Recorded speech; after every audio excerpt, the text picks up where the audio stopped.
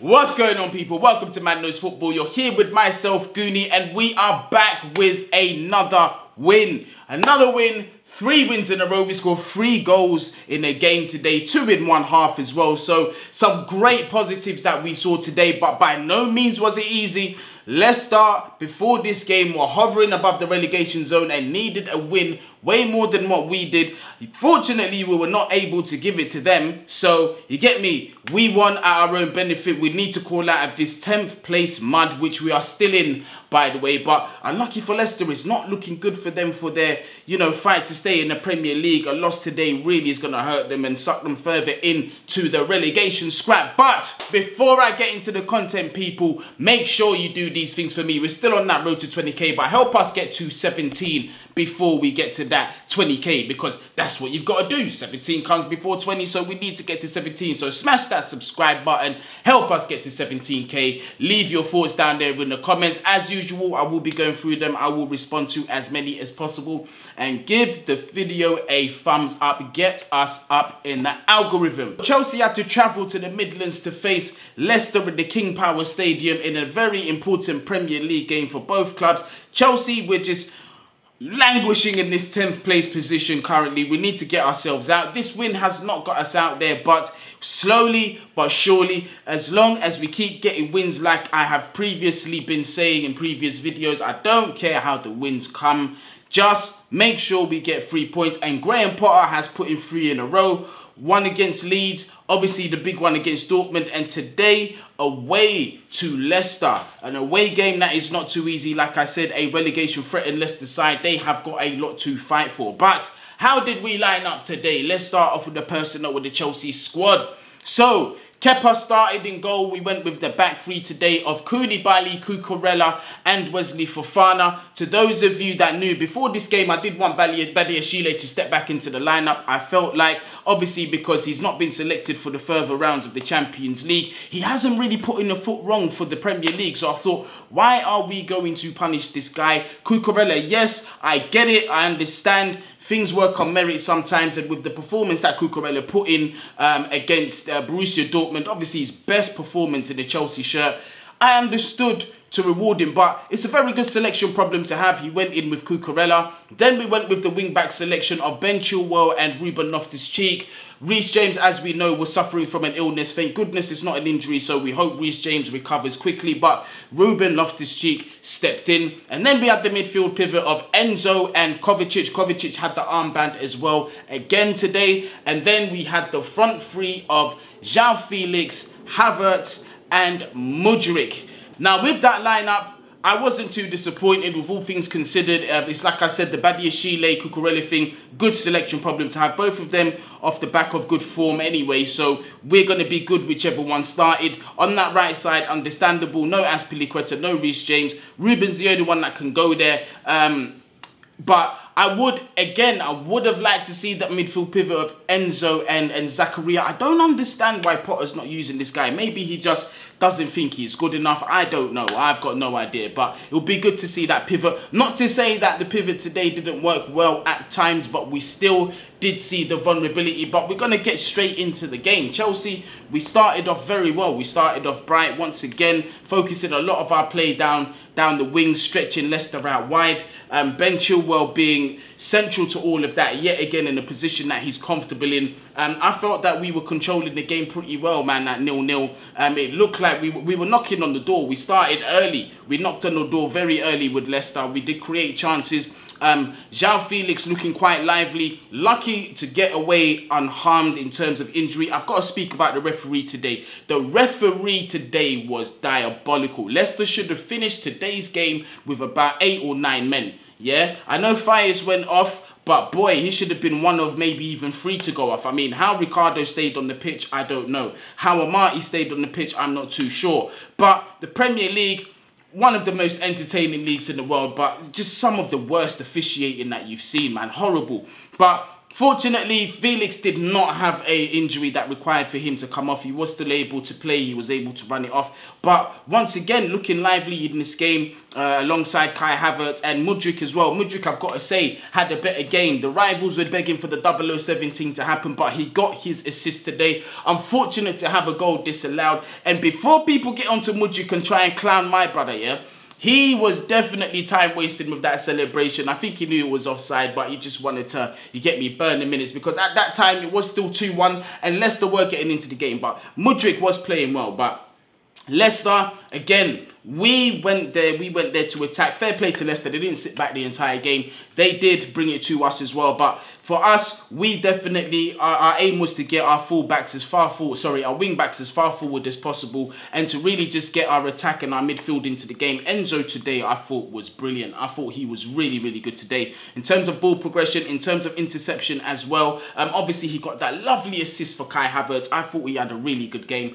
But our first goal was something of beauty and the irony of the player who was getting booed by his previous home fans. Obviously, Ben Chilwell has a history with Leicester Football Club, but what a finish that was. First time volley into the bottom corner. I didn't even know that it had gone in. I thought it hit the side netting. Took me a minute to know that Ben had scored the goal, but what a goal that was. But in typical Chelsea fashion, I can't celebrate goals straight away, man, because I have this PTSD of, you know, disallowed goals and, you know, especially goals as nice as that just being disallowed for Chelsea. It's just been our luck, hasn't it? But it wasn't disallowed. Brilliant goal from uh, Ben Chilwell. I absolutely loved the celebration. Been getting booed all until that point. And he went over to the fans. What are you saying now?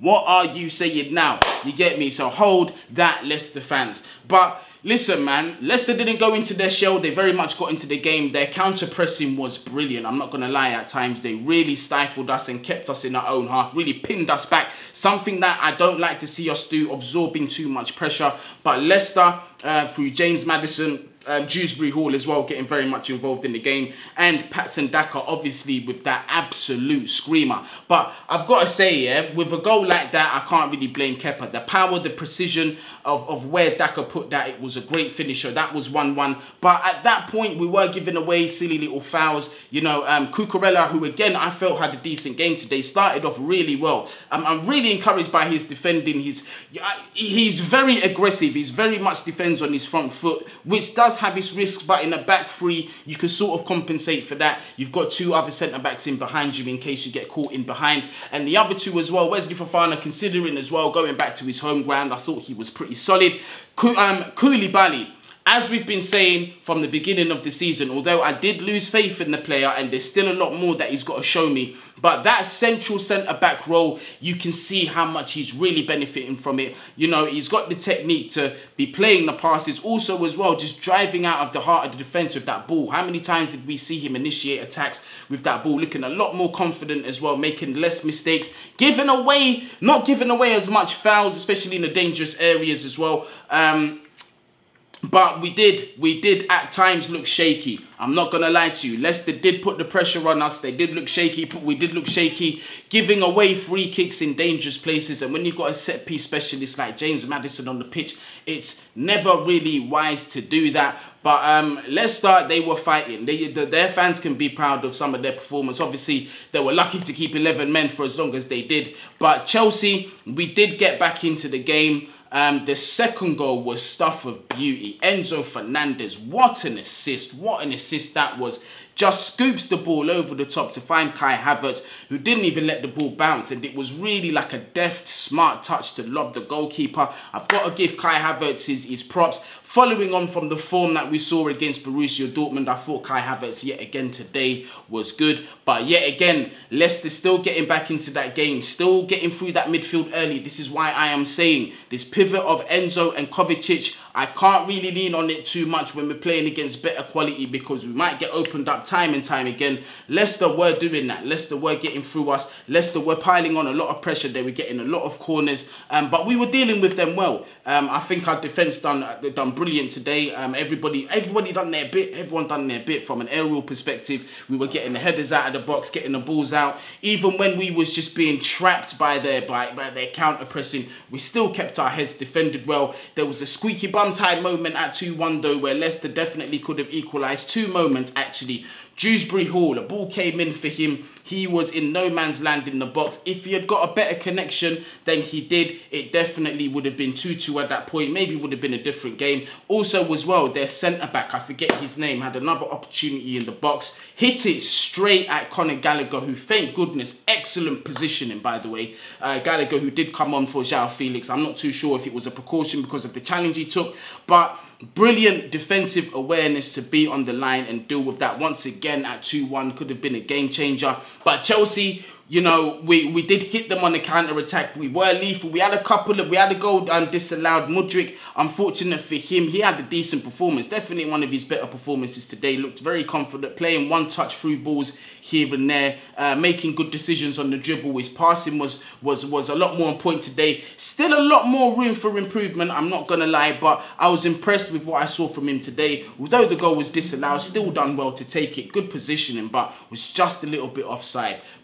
Pace is absolutely frightening, absolutely frightening, and I'm excited to see his development in this squad, which is why I'm really pushing for him to be starting games. Obviously, this guy's got a long-term future at the club, so let's involve him. Games like today, brilliant for us to see. Um, good performance from Mudryk. Also got his assist as well. Got his assist for a beautiful goal from, from Mateo Kovacic. Kai Havertz receives that ball, gets into good space. Yet again, Kai, just a master at finding space. Gets into good space on that right side. Has the option of Conor Gallagher, who's driving through the middle and asking for the ball. He could have actually scored. But he decides to go to the back post, where he had two options. He had Mudryk Granted, the ball was slightly overhit in terms of the chip, but Mudryk got a decent header on it to lay off for Kovacic, who hit it first time with some kung fu volley, man. Went through the middle of the goal. Goalkeeper unfortunate not to get it, but just too much power. That's all it needed. It just needed a whack straight into the goal. That's what Kovacic did. 3-1. That's really all she wrote, man. That is all she wrote.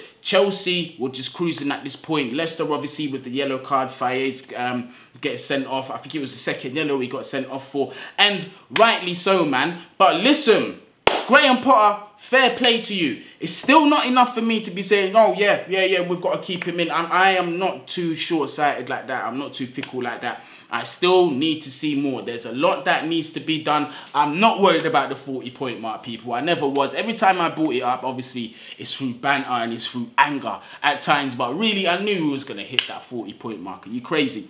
But it's good to see form is coming back, confidence is coming back ever since we've reverted to that 3-4-3 or, the back five, whatever you want to call it. Um, we have looked a lot better. We've won every single game since we've, we've done that. We've only conceded one goal as well. So one goal conceded in three games. Also a good defensive record. Something also to talk about. I'm, I'm, i want the clean sheets. I want to bring the clean sheets back. But it's looking positive. Graham Potter again, I think he got the tactics uh, spot on. Considering what he had available to him, I thought he'd done a good job today. So well done, Graham Potter. Credit where it's due. Credit where it's due. Um, and yeah, you know, up the Chelsea. Let's keep this coming. I wonder who's our next fixture. Let me have a look. Let me have a quick check. Everton next week in the Premier League, we're going to be at home. Another must-win fixture. Look, so the next several games, we've got Everton at home, Aston Villa at home, Liverpool at home as well, um, Wolves away. Honestly speaking, I think that out of those next four games, I reckon we can get 9 out of 12 points. I think we should be beating Everton. We should be beating Aston Villa. Yeah, we might draw. No, I'm, well, sorry, 10, 10 out of 12. Sorry, not not 9, 10 out of 12. We, we, At bare minimum, I want a draw with Liverpool, but we should be beating them, in my, in my opinion. If we win those next two games, I think we should be beating Liverpool. Wolves away as well, I think we should be beating them. So, an opportunity again to just to just build on these positive runs. But in terms of personnel today, uh, players that... Yeah, let's talk about individual performances before I go. Kepa, for me had an absolute shocker at times today. Made some decent saves, don't get me wrong. Do not get me wrong. But it's like I said to you, this is why long term I cannot trust this goalkeeper. When that lack of confidence creeps in, he doesn't always get over it and he does get shaky, not dealing with aerial balls properly. We know that's not really been his strong point, but he has improved recently. But today I saw a bit of regression. Um, we, we saw a shot of his confidence, but hopefully he can get over that quick enough. Hopefully the three points is enough for him to forget about the performance today and to just go on and to maintain, uh, you know, better form than, than what we saw today for sure. I thought the back three were good. At times we did look a bit shaky. You know, Leicester, you know, committing numbers forward, our positioning a bit off at times, leaving players in the box in positions where we perhaps shouldn't be leaving them. Uh, the wing back play I thought was very good today. I thought um, props to Loftus Cheek. I thought he done what he could. Didn't really stand out like that, but I still think he was solid. Ben Chilwell for me, excellent as usual, an absolute master at that position and they show nothing less in those last three games. Also, done excellent to get that job on the um, inverted flank for him on his on his left foot. Felt beautiful for him. What a finish that was. So well done, Ben Chilwell. In terms of the pivot today, Cover and Enzo, they worked their socks up absolutely. Um, Enzo with the assist, great assist. Kovacic really put in that work. Great goal as well. Great goal. So two key defining moments coming from both of our midfielders today. It's good to see a relationship is being built there. But long term, I still have my concerns. But for today, both of them, I thought they were great and were duly rewarded for their performances. One with an assist, one with a goal. Front three today, I thought Kai Havertz was, was good today. Um, got his goal as well. Took it very well. A very deft finish. Do you know what I mean? A very smart finish. Um, I thought Mudryk done good as well, got his assist. Um, I also saw um, João Felix, when he was on the pitch, he done all right. Conor Gallagher, when he came on to replace João Felix, I thought he done well. I'm not going to lie to you. Was really getting involved in the midfield battles, was really, you know, trying to win that ball high up in the pitch and trying to start the, um, initiate the attacks. Um, I thought he was good defensively, put his work in, like I said, cleared that ball off the line. So overall, you know, at times we definitely did get away with it, but we showed resilience. We showed resilience. How many times at 1-1 or, or when team score, we're just not able to get that other goal? We don't look like we've got it in us to get it. Today we showed fight, desire. We got the result that we needed. Yes, we're still in 10th place, but as long as we keep getting these positive results, surely, slowly but surely, we'll be climbing out of there into more positive positions. But people, like I said, let me know down there in the comments. Smash that subscribe button on our road to 20k. Up the Chels, three points, on to the next. Get in.